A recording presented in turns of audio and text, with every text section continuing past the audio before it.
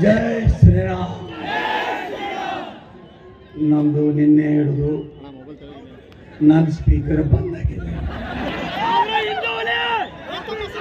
ಧಾರವಾಡ ಲೋಕಸಭಾ ಕ್ಷೇತ್ರದ ಭಾರತೀಯ ಜನತಾ ಪಾರ್ಟಿಯ ಪ್ರಹ್ಲಾದ್ ಜೋಶಿ ಅವರ ಚುನಾವಣೆ ಪ್ರಚಾರದ ಇಂದಿನ ಸಭೆಯಲ್ಲಿ ಭಾಗವಹಿಸಿದಂಥ ಎಲ್ಲ ವೇದಿಕೆ ಮೇಲೆ ಪಕ್ಷದ ಮುಖಂಡರೇ ಸಿಗ್ಗಾವಿ ವಿಧಾನಸಭಾ ಕ್ಷೇತ್ರದ ಎಲ್ಲ ನನ್ನ ತಂದೆ ತಾಯಿ ನನ್ನ ತಮ್ಮಂದಿರೇ, ಯುವಕರೇ ಪತ್ರಕರ್ತ ಮುಂಜಾನಿಂದ ಧ್ವನಿ ಪೂರ್ತಿ ಇದಾಗಿದ್ರಿಂದ ನಾ ಎಲ್ಲೂ ಮಾತಾಡಲಿಕ್ಕಾಗಿರಲಿಲ್ಲ ಆದರೆ ಈಗಾಗಲೇ ಪ್ರಹ್ಲಾದ್ ಜೋಶಿಯವರು ದೇಶದ ಇಂದಿನ ಸ್ಥಿತಿಗತಿ ಬಗ್ಗೆ ಇವತ್ತು ನಮ್ಮ ದೇಶ ಉಳಿಬೇಕು. ಸನಾತನ ಹಿಂದೂ ಧರ್ಮ ಉಳಿಬೇಕು. ನಮ್ಮ ಮನೆ ಸುರಕ್ಷಿತವಾಗಿರಬೇಕು. ಕೇವಲ ನರೇಂದ್ರ ಮೋದಿಯವರಿಂದ. ಮಾತ್ರ ಸಾಧ್ಯ ಅದೇ ರೀತಿ ಕರ್ನಾಟಕದಲ್ಲಿ ಇದು ಹಿಂದೂಗಳ ಸರ್ಕಾರ ಅಲ್ಲ, ಇದು ಸಹಬರ ಸರ್ಕಾರ. ನಮ್ಮ ಹಿಂದೂಗಳ ರಕ್ಷಣೆ ಕಾಂಗ್ರೆಸ್ನಿಂದ ಆಗಲಿಕ್ಕೆ ಸಾಧ್ಯ ಇಲ್ಲ. ಈ ಲೋಕಸಭೆಯಲ್ಲಿ ಏನಿವತ್ತು ಹದಿನಾಲ್ಕು ಲೋಕಸಭಾ. ನಾಳೆ ಮೇ ಏಳನೇ ತಾರೀಕಿಗೆ ಏನು ಮತದಾನ ಇದೆ? ನಾವು ಜಾತಿ ಯಾವುದನ್ನು ಇವತ್ತು ಎಲ್ಲರೂ ಏಳನೇ ತಾರೀಕಿಗೆ ಬಿಜೆಪಿಗೆ ಮತ ಹಾಕೋದ್ರ ಮೂಲಕ ದೇಶದಲ್ಲಿ ನರೇಂದ್ರ ಮೋದಿಯವರು ಮೂರನೇ ಬಾರಿಗೆ ಮುಖ್ಯ ಪ್ರಧಾನಮಂತ್ರಿ ಆಗಲಿಕ್ಕೆ ಯಾರೆಲ್ಲ ಆಶೀರ್ವಾದ ಮಾಡಬೇಕು ಈ ಲೋಕಸಭೆ ಮುಗಿದ ಮ್ಯಾಗ ಈ ಸರ್ಕಾರ ಬೀಳ್ತದ ಅವಾಗ ಕರ್ನಾಟಕದಲ್ಲಿ ಮನೆ ಕಡಿಗೆ. ವಿಧಾನಸಭಾ ಚುನಾವಣೆ ನಡೆದ್ರು ನಡೀಬಹುದು. ಅವಾಗ ಕರ್ನಾಟಕದಲ್ಲಿ ಹಿಂದೂ ಸರ್ಕಾರ ಬರ್ತದ. ಹಿಂದೂಗಳ ರಕ್ಷಣೆ ಮಾಡುವ ಸರ್ಕಾರ ಬರ್ತದ. ಒಂದು ಸಾವಿರ ಜೆ ಸಿ ಬಿ ತಗೋತೀವಿ. ಪಾಕಿಸ್ತಾನ ಪರವಾಗಿ ಘೋಷಣೆ ಕೊಟ್ರ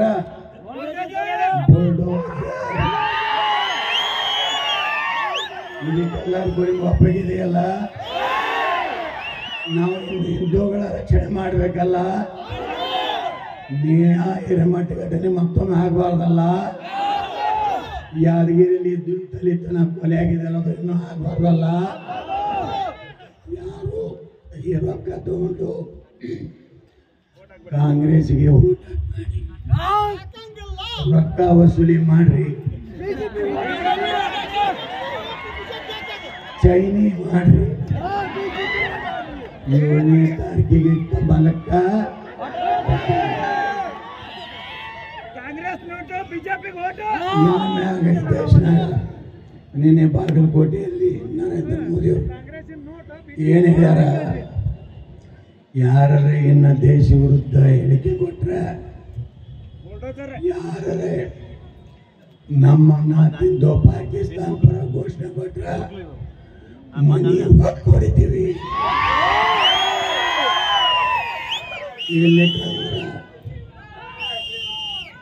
ಈ ದೇಶನಾಗ ನಮ್ಮ ಇವತ್ತಿ ಕುಂಕುಮ ಭಂಡಾರ ಯಾವುದು ಉಳಿದಿಲ್ಲ. ಹಿಂದೂ ಸಮಾಜ ಮತ್ತೊಮ್ಮೆ ಛತ್ರಪತಿ ಶಿವಾಜಿ ಮಹಾರಾಜರಂಗೆಲ್ಲ ನಾವು ತಯಾರಾಗಬೇಕು. ವೀರರಾಣಿ ಕಿತ್ತೂರು ಚೆನ್ನಮ್ಮಗೆ ಹೆಣ್ಮಕ್ಳು ತಯಾರಾಗಬೇಕು. ಜಗದಂಬೆ ಹಂಗೆ ಹೆಣ್ಮಕ್ಳು ತಯಾರಾಗಿ ಯಾವುದೇ ಲವ್ ಜಿಹಾದವನ್ನು ಮಾಡಾಗ ಇನ್ನು ನಾವು ಸುಮ್ಮಿರಬಾರ್ದು? ಅಲ್ಲಿ.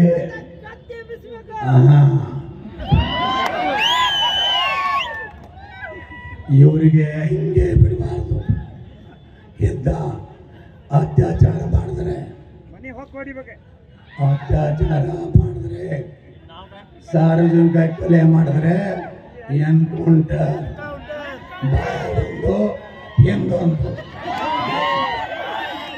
ಇಲ್ಲಾಂದ್ರೆ ಬಂದ್ರೆ ನಮ್ಮ ಮನಿ ನಾವು ರಕ್ಷಣೆ ಮಾಡ್ಕೊಳಕ್ಕಾಗೋದಿಲ್ಲ ಇವತ್ತ ಪ್ರಹ್ಲಾದ್ ಜೋಶಿ ಅವರು ಬಹಳ ಕೆಲಸ ಮಾಡ್ಯಾರ ಈ ಭಾಗದಾಗ. ಅವ್ರ ಬಗ್ಗೆ ಅಪಪ್ರಚಾರ ಸುಮ್ಮನೆ ಏನೂ ಇಲ್ಲ. ಈ ರಾಜ್ಯದಾಗ ರಾಮಕೃಷ್ಣ ಹೆಗಡೆ ಅದ ನಂತರ ಅನಂತಕುಮಾರ್ ಪ್ರಹ್ಲಾದ್ ಜೋಶಿ ಯಾವಾಗಲೂ ಲಿಂಗಾಯತ ಕೂಡ ದಲಿತರು ಎಂದು ಕೂಡ ಯಾವಾಗಲೂ ಅದಾರ.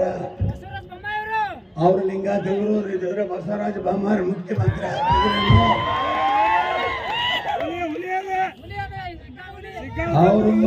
ಆಗ್ಬೋದಾಗಿತ್ತಲ್ಲ.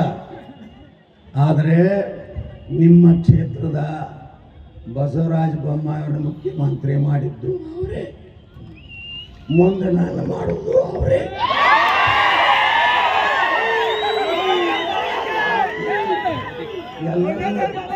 ಎಲ್ಲರೂ ನಾ ಮುಖ್ಯಮಂತ್ರಿ ಆಗೋ ಕಬಲ ಇದೆ.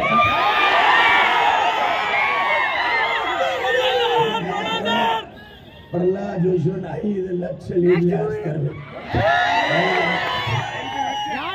ಯಾರು ಯಾರು, ಕೆಲವೊಂದು ಮಂದಿ ಅದಾರ. ಬುಕಿಂಗ್ ಕಂಪ್ನಿ ಅವರು ಕಾಂಗ್ರೆಸ್ ಓಟ್ ಹಾಕತ್ತಾರ. ಅಲ್ಲಿ ಪೇಮೆಂಟ್ ಆಗೈತಿ ಅವ್ರನ್ನ ನಂಬಬೇಡ್ರಿ. ಇವತ್ತೇನರೇ ಪಂಚಮ ಸಾಲರಿಗೆ, ಮರಾಠರಿಗೆ, ಜೈನರಿಗೆ, ಕ್ರಿಶ್ಚಿಯನ್ರಿಗೆ ಟೂಡಿ ಮೀಸಲಾತಿ ಸಿಕ್ಕಿದ್ದು ನರೇಂದ್ರ ಮೋದಿ, ಬಸವರಾಜ ಬೊಮ್ಮಾಯಿಂದ ಇವತ್ತು ಕಾಂಗ್ರೆಸ್ಸಿನ ಒಬ್ಬ ನಾಯಕ ಬಹಳ ಹಾರಾಡ್ತಿದ್ರು. ನಾವು ಪಂಚಮ ಸಾಲಿ ಹೋರಾಟ ಮಾಡಾಗ ಏನ್ ಹೇಳ್ತಿದ್ರು? ನಮ್ಮ ಸರ್ಕಾರ ಇದ್ದಾಗ ನಾನು ಯಡಿಯೂರಪ್ಪ ಜೊತೆ ಜಗಳ ತೆಗೆದೆ, ಬೊಮ್ಮಾಯಿ ಜೊತೆ ಜಗಳ ತೆಗೆದೆ. ಆ ಜಗಳ ತೆಗೆದಿದ್ದಕ್ಕೆ ನನ್ನ ದಿಲ್ಲಿಗೆ ಅಮಿತ್ ನಮ್ಮ ಪಂಚಮ ಶಾಲೆಗಳಿಗೆ ಆದಿಗಳಿಗೆ ಎಲ್ಲ ಆದ್ರೂ ಕೂಡ ಮರಾಠ ಸಮಾಜ ಜೈನ ಸಮಾಜ ಎಲ್ಲರೂ ಡಿ ಏಳು ಪರ್ಸೆಂಟ್ ಕೊಟ್ಟೀವಿ ಟೂ ಎದಾಗ ಒಂದೂರ ನಾಲ್ಕು ಜಾತಿ ಅದಾವ ಪಾಪ ಹಾಲ ಮತ ಇದೆ ಗಾಣಿಗೆ ಸಮಾಜ ಇದೆ ಆ ದೊಡ್ಡ ದೊಡ್ಡ ಸಮಾಜ ಆ ಸಮಾಜದ ಹತ್ತು ನಾವು ಸೋಲಾರದೆ ಇವತ್ತು ನಮ್ಮ ನರೇಂದ್ರ ಮೋದಿ ಅಮಿತ್ ಶಾ ಅವರು ಪ್ರಹ್ಲಾದ್ ಜೋಶಿ ಅವರು ಬಸವರಾಜ ಬೊಮ್ಮಾಯಿ ಶೋಭಾ ಕರಂದಾಜ್ ನಮ್ಮ ಹಿಂದಿನ ಪಾಪ ನಳಿನ್ ಕುಮಾರ್ ಕಟೀಲ್ರು ಎಲ್ಲರೂ ನನ್ನನ್ನು ಪ್ರೀತಿಯಿಂದ ದಿಲ್ಲಿ ಹೇಳ್ಕೊಂಡು ಅಮಿತ್ ಶಾ ಅವರು ನಡ್ಡ ಕರೆದು ಏನಪ್ಪ ನಿಮ್ದು ಬೇಡಿಕೆ ಅಂತ ಕೇಳಿದಾಗ ನಾ ಹೇಳಿದೆ ನಾವು ಲಿಂಗಾಯತೊಳಗೆ ಎಪ್ಪತ್ತು ಪರ್ಸೆಂಟ್ ಪಂಚಮ ಸಾಲ ಹುಲಿ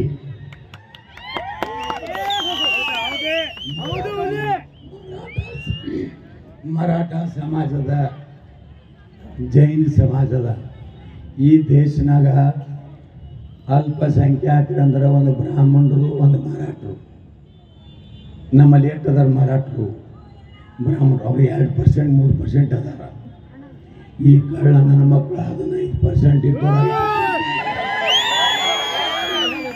ಅವ್ರಿಗೆ ನಾವು ಎಲ್ಲ ಮೀಸಲಾತಿ ತೆಗಿತೀವಿ. ಅದನ್ನ ಎಸ್ ಸಿ, ಎಸ್ ಟಿ ಹಿಂದುಳಿ ವರ್ಗ ಹಂಚಿಕೊಟ್ಬಿಡ್ತೀವಿ ತಗೊಳೈತೆ? ನೀವೆಲ್ಲ ಹಿಂದೂಗಳು ಒಂದಾಗ್ತೀರಾ ನರೇಂದ್ರ ಮೋದಿ ಅವ್ರಿಗೆ ಆಶೀರ್ವಾದ ಮಾಡ್ತೀರಾ? ನಿಮ್ಮ ಮನೆ ಸುರಕ್ಷಿತ. ನನ್ನ ದೇಶ ಸುರಕ್ಷಿತ. ನನ್ನ ಭಾರತ ಧ್ವಜ ಸುರಕ್ಷಿತ. ಪುಣ್ಯಾತ್ಮ ಹತ್ತು ವರ್ಷದಲ್ಲಿ ನರೇಂದ್ರ ಮೋದಿಯವರು ಎಷ್ಟು ಕೆಲಸ ಮಾಡ್ಯಾರ? ಬರೀ ಐದು ಗ್ಯಾರಂಟಿ, ಐದು ಏನು ಐತೆ ಈ ಕಡೆ ತೊಗೊಂಡಾರ ಈ ಕಡೆ ನೋಡ್ರಿ, ಹತ್ತು ಕಿಲೋ ಅಕ್ಕಿ ಕೊಡ್ತೀನಿ ಅಂತ ಅವ್ರ ಅಪ್ಪನ ಅವ್ರ ಅಪ್ಪಗೆ ಅವ್ರು ಹೇಳಿದ್ರಲ್ಲ ಈಗ ಯಾಕೆ ನಾಲಿಗೆ ಬದಲಾಯ್ತು? ನೀವು ಐದು ಕಿಲೋ ಇವತ್ತು ಯಾರು ಬರ್ಲಕತ್ತದ? ನರೇಂದ್ರ ಮೋದಿ ಅವರು ಐದು ಕಿಲೋ ಬರ್ಲಕತ್ತದ. ನೀವೇ ನಾಲಿಗೆ ಹೇಳಿದ್ರಿ, ಹತ್ತು ಕೆ ಜಿ ಎರಡು ನೂರು ಯೂನಿಟ್ ಅಂತ ಹೇಳಿದ್ರಿ. ಈಗ ಎರಡು ಕೊಳ್ಳಕತ್ತಾರ. ಅಲ್ಲಿದಿಂದ ಎರಡು ಸಾವಿರ ರೂಪಾಯಿ ಕೊಡ್ತಾರ. ಎಷ್ಟು ಕರೆಂಟು ಮೊದಲ ಎರಡೂವರೆ ರೂಪಾಯಿ ಯೂನಿಟ್ ಇತ್ತು ಈಗ ಎಷ್ಟಾಗೈತಿ ರೂಪಾಯಿ. ಆಗೈತಿ. ಅಲ್ಲಿದಿಂದ ಎರಡು ಸಾವಿರ ಗಂಡ ಡಬಲ್ಲ ಹೆಣ್ಮಕ್ಳಿಗೆ ಹೋಗಟ್ಟ ಬಸ್ ಚಾರ್ಜ್ ಮತ್ತೆ ಹೆಂಗ ಅಡ್ಡಾಡ್ಬೇಕು ಸಾಲಿ ಬಿಟ್ಟು ಹೆಂಗ ಅಡ್ಡಾಡ್ಬೇಕಪ್ಪ ಅವ್ರು ಜೆ ಸಿ ಬಿ ಕೊಟ್ಟು ಹೋಗ್ಲಕತ್ತಾರ ಅವ್ರ ಸಾಲಿಗೆ ನೀವು ಬಸ್ನು ಹೆಚ್ಚು ಮಾಡಲಿಲ್ಲ ಹತ್ತು ಕಿಲೋ ಅಕ್ಕಿನೂ ಕೊಡ್ಲಿಲ್ಲ ಹತ್ತು ರೂಪಾಯಿ ಬಾಂಡ ನೂರು ರೂಪಾಯಿ ಬಾಂಡ ಮರಣ ಉತ್ತಾರೆ ಖಾತೆ ಉತ್ತಾರೆ ದಾಗೂರಿ ಇಟ್ಟ ಪಾಪ ದಾರು ಕುಡಿಯೋರು ಮೊನ್ನೆ ಬೆಳಗಾವಿ ವಿಧಾನಸಭಾ ಮುಂದೆ ಸ್ಟ್ರೈಕ್ ಏನು ಬೇಡಿಕೆ ಕರ್ನಾಟಕ ರಾಜ್ಯ ಮದ್ಯಪಾನ ಪ್ರಿಯಕರ ಸಂಘ ನಮ್ಮ ಬೇಡಿಕೆ ಈಡೇರಿಸಲೇಬೇಕು ಬೇಕೇ ಬೇಕು ನ್ಯಾಯ ಬೇಕು ಅವ್ರೇನು ಹೇಳಿದ್ರು ಮೂವತ್ತೆರಡು ಸಾವಿರದಿಂದ ಮೂವತ್ತೈದು ಸಾವಿರ ಕೋಟಿ ನಾವು ಎಕ್ಸೈಜ್ ಕೊಡ್ತೀವಿ ರಾಜ್ಯ ಸರ್ಕಾರ. ರಾಜ್ಯ ಸರ್ಕಾರ ನಡೆದಿದೆ ಕುಡುಕರಿಂದ ಅದಕ್ಕೆ ಸಮಾಜದಾಗ ನಮಗೆ ಗೌರವ ಸಿಗಬೇಕು. ಒಂದು ಬೇಡಿಕೆ. ಎರಡನೇದು ಅವರು ಬಾರಿಗೆ ಹೋದಾಗ ಪಾಪಡ ಶೇಂಗಾ ಫ್ರೀ ಅವರು ಬಾರಿಗೆ ಹೋದಾಗ ಅಲ್ಲಿ ಸಪ್ಲೈ ಮಾಡೋ ರೆಸ್ಪೆಕ್ಟೆಡ್ ಸರ್ ದಾರು ಹೆಚ್ಚಾಗಿ ನಿಶೆ ಹೆಚ್ಚಾಗಿ ಆದಾಗ ಬಿದ್ದರೆ ಅವ್ರನ್ನ ಅಲ್ಲಿ ಎತ್ತಿ ತೆಗೆದು ಜಳಕ ಮಾಡಿ ಸಾಹೇಬ್ ಯಾಕೆ ಅವ್ರ ಮನೆಗೆ ಬಿಟ್ಟು ಪೊಲೀಸರು ಸೆಲೆಕ್ಟ್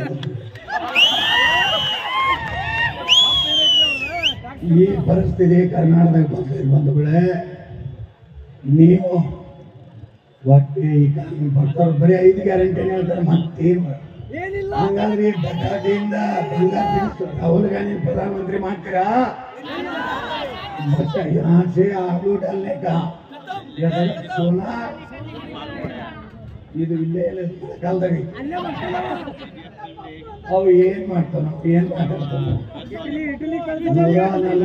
ಕೋಟಿ ಜನರ ಇವತ್ತು ಒಬ್ಬ ಸುಭದ್ರ ಸರ್ಕಾರ ಅಷ್ಟೇ ಅಲ್ಲ, ಜಗತ್ತಿನಾಗನೇ ಭಾರತದ ಅಂದ್ರೆ ಇವತ್ತು ಹಂಚಲಾಕತ್ತಾರ ವಿಶ್ವಗುರು ಭಾರತ ಕಾರಣ ನರೇಂದ್ರ ಮೋದಿ ಯಾರು ಯಾವೇ ಅಪಪ್ರಚಾರ, ಯಾವನ್ನ ನಂಬಬೇಡ್ರಿ ಕೆಲವೊಂದು ಮಂದಿ ಬುಕ್ ಆಗಿ ಪಂಚಮ ಸಲರಿಗೆ ಅನ್ಯಾಯ ಮಾಡ್ಯಾರ ಪಂಚಮ ಸಲಾರಿಗೆ ಮೀಸಲಾತಿ ಸಲುವಾಗಿ ಹೋರಾಟ ಮಾಡಿವಿ ನಾವು. M P M L A ticket ಸಲುವಾಗಿ ಓಡಾಟ ಮಾಡಿಲ್ಲ.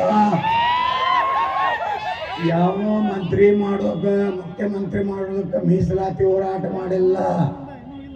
ಕೂಡಲ ಸಂಗಮ ಸ್ವಾಮಿಗಳ ನೇತೃತ್ವದಲ್ಲಿ ಕಲಬುರಗಿಯಲ್ಲಿ ನಮ್ಮ ಸಮಾಜದಿಂದ ಒಂದು ನಿರ್ಣಯ ತಗೊಂಡಿದ್ದೀವಿ. ಒಂದು ವರ್ಷದ ತನ ಕಾಂಗ್ರೆಸ್ನ ಒಬ್ಬ ಎಂ ಎಲ್ ವಿಧಾನಸಭೆಯಲ್ಲಿ ನಮ್ಮ ಸಮಾಜದ, ಮರಾಠ ಸಮಾಜದ, ಜೈನ ಸಮಾಜದ, ಲಿಂಗಾಯತ ಸಮಗ್ರ ಸಮಾಜದ ಟೂಡಿಯನ್ನ ಜಾರಿ ಮಾಡಲಿಕ್ಕೆ ಒಬ್ಬರು ಮಾತಾಡಲಿಲ್ಲ. ನಾನು ಒಂದು ವರ್ಷ ಸುಮ್ ಕೂತಿದ್ದೆ ಇವ್ರು ಏನಾರು ಮಾಡ್ತಾರೆ ಕಾಂಗ್ರೆಸ್ನ ನೋಡ್ಬೇಕಂತೇಳಿ. ಒಬ್ಬ ಎಂ ಎಲ್ ಎ ಮಾತಾಡಲಿಲ್ಲ. ಈಗ ರೋಡ್ ಮೇಲೆ ಮಾತಾಡ್ತಾರೆ ನನ್ನ ಬಗ್ಗೆ. ನೀವು ನಿಮ್ಮ ಅಪ್ಪಗೆ ಹುಟ್ಟಿದ್ರ? ನೀವೇ ಕೊಡಿಸ್ತೀನಿ ಅಂತೇಳಿ ಯಾವ ನಮ್ಮ ಸರ್ಕಾರ ಕೊಟ್ಟಂತ ಗೆಜೆಟ್ ನೋಟಿಫಿಕೇಶನ್ ಅನ್ನ ಬೆಳಗಾವಿಯ ವೀರರಾಣಿ ಕಿತ್ತು ಚೆನ್ನಮ್ಮ ಮೂರ್ತಿ ಮುಂದೆ ಸುಟ್ಟಿರಲ್ಲ? ನಿಮ್ಗೆ ನಾಚಿಕೆ ಆಗ್ಬೇಕು? ನೀವು ಇವತ್ತೇ ಡಿಕ್ಲೇರ್ ಮಾಡ್ತಾರೆ ಸಿದ್ದರಾಮಯ್ಯ ಕಡೆ.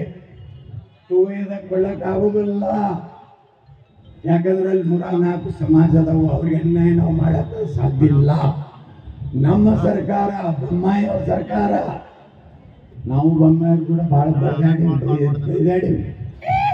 ಪಾಪ ಒಂದು ದಿವಸನು ಬಸವರಾಜ ಬೊಮ್ಮಾಯಿ ಅವರು ನಾ ಎಷ್ಟು ಮಾತಾಡಿದ್ರು ತಲೆ ತಲೆಗಾಯ್ತು ಇನ್ನೂರ ಮಾಡ್ತೀವಿ ಸ್ವಲ್ಪ ಸಮಾಧಾನ. ಪಾಪ ಅನ್ಕೋತ ಎಲ್ಲ ಕಡೆ ಸಂಭಾಳಿಸ್ಬೇಕಲ್ಲ.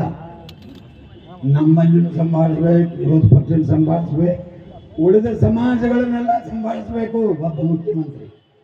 ಕೊನೆಗೆ ಬೊಮ್ಮಾಯಿಯವ್ರನ್ನ ನಮ್ಮ ಪ್ರಹ್ಲಾದ್ ಜೋಶಿಯವರು ಅಮಿತ್ ಶಾ ಅವ್ರ ದಿಲ್ಲಿ ಕರೆಸಿ ಕನ್ವಿನ್ಸ್ ಮಾಡಿ ನಮಗೆ ಏಳು ಪರ್ಸೆಂಟ್ ಕೊಟ್ಟಾರ ಬಂಧುಗಳೇ. ಕಾಂಗ್ರೆಸ್ನ ಎಂ ಎಲ್ ಎ ಈಗ ಹಾರಾಡಕ್ಕೆ ಅವನು ಒಬ್ಬ ಜಿಗಿದಾಳೆ ನಮ್ಮಲ್ಲಿ. ಅವ ರಾಷ್ಟ್ರೀಯ ಅಧ್ಯಕ್ಷ. ಅವನ ಅವಾಗ ಕಿತ್ತು ಹೊಡೆದೀವಿ ಅವ ಒಂದು ಲಿಂಗಾಯತ ಬೋರ್ಡ್ ಕಟ್ಕೊಳ್ಳೇನೆ. ಇವತ್ತ ಬೇರೆ ಮಾತಾಡಕತ್ತಾನ. ನಾವು ಒಂದೇ ಮಾತು ಹೇಳ್ತೀನಿ. ಈ ಸಮಾಜಕ್ಕೆ, ಅಂದರೆ ನಮ್ಮೆಲ್ಲ ಸಮಾಜಕ್ಕೆ ನ್ಯಾಯ. ದಲಿತರಿಗಿರಲಿ ಇವತ್ತು ನೋಡ್ರಿ ಎಸ್ ಸಿದು ಹದಿನೈದು ಇದ್ದಿದ್ದು, ಹದಿನೇಳು ಮಾಡಿದ್ವಿ ನಾವು ಬೊಮ್ಮಾಯಿ ಸರ್ಕಾರದಲ್ಲಿ.